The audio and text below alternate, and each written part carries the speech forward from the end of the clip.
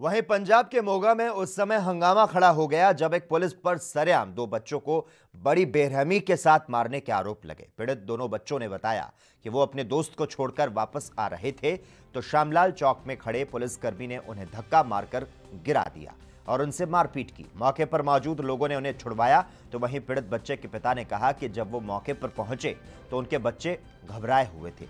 DSP Barjinder Singh ने बताया कि वो जाँच में जुटे हैं। सीसीटीवी देखकर मामले की जाँच की जाएगी। पुलिसकर्मी का मेडिकल चेकअप करवाया जा रहा है। दोषी पाए जाने पर पुलिसकर्मी पर उचित कार्रवाई की जाएगी।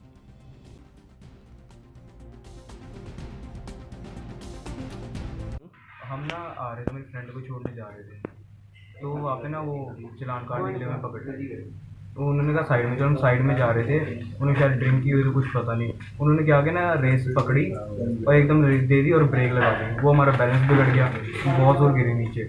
जब हम खड़े हुए तो उन्होंने मारना शुरू कर दिया मेरे पास। कोई मिसबिहेव आपने तो नहीं किया वहाँ पे? नहीं कुछ नहीं किया। हम चुपचाप थे। मैंने कम से कम पचास बार सॉरी कहा उन्हें। उन्होंने कुछ नहीं कहा बस सीधा मारते रहे। कितने कितने जने थे आप? हम दो थे हम दोनों को मारा। आप दोनों थे। ठीक। है ਕਿ ਥਾਪਰ ਚੌਂਕ ਦੇ ਵਿੱਚ ਏਐਸਆਈ ਜਗਤਾਰ ਸਿੰਘ ਦੀ ਉਹ ਐਲੀਗੇਸ਼ਨ ਸੀਗਾ ਕਿ ਉਹਨੇ ਦੋ ਬੱਚੇ ਸੀ, ਉਹਨਾਂ ਨਾਲ ਮਾਰਕੁੱਟ ਕੀਤੀ ਆ। ਮੌਕੇ ਤੇ ਪਹੁੰਚ ਗਏ ਸੀ ਅਸੀਂ। ਜਗਤਾਰ ਸਿੰਘ ਸੀ ਜਿਹੜਾ, ਜਿਹਦੇ ਤੇ ਐਲੀਗੇਸ਼ਨ ਸੀ, ਇਹਨੇ ਡਰਿੰਕ ਕੀਤੀ ਆ। ਉਹਦਾ ਅਸੀਂ ਮੈਡੀਕਲ ਕਰਵਾ ਦਿੱਤਾ।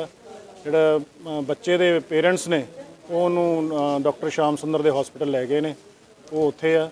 ਤੇ ਹੁਣ ਅਸੀਂ ਜਿਹੜੀ ਸੀਸੀਟੀਵੀ ਫੁਟੇਜ ਦੇਖਦੇ ਆ, ਉਸ ਤੋਂ ਬਾਅਦ ਪਤਾ ਲੱਗੂਗਾ ਵੀ ਕੀ ਕਾਰਨ ਸੀ ਕਿ ਉਹਨੇ ਜਿਹੜੇ ਐਲੀਗੇਸ਼ਨ ਨੇ ਕਿ ਉਹ ਬੱਚੇ ਦੇ ਡਿੱਗਣ ਤੋਂ ਬਾਅਦ ਉਹਨੇ ਉਹਦੀ ਛਾਤੀ 'ਚ ਮੁੱਕੇ ਮਾਰੇ ਮਾਰੇ ਜਾਂ ਨਹੀਂ ਮਾਰੇ ਉਹਨੂੰ ਅਸੀਂ ਏਐਸਆਈ ਤੋਂ ਪੁੱਛਦੇ ਵੀ ਕੀ ਕਾਰਨ ਸੀਗਾ ਬਾਕੀ ਸੀਸੀਟੀਵੀ ਫੁਟੇਜ ਦੇਖਦੇ ਹਾਂ ਜਿਹੜੀ ਵੀ ਉਹ 'ਚ ਗੱਲਬਾਤ ਸਾਹਮਣੇ ਆਊਗੀ ਮੈਡੀਕਲ 'ਚ ਵੀ ਜੋ ਤੱਥ ਪਾਏ ਜਾਣਗੇ ਉਹਦੇ ਹਿਸਾਬ ਨਾਲ ਅਸੀਂ ਜਿਹੜੀ ਅਗਲੀ ਕਾਰ देश दुनिया की खबरों के लिए एएनबी न्यूज को सब्सक्राइब करें और बेल आइकन दबाएं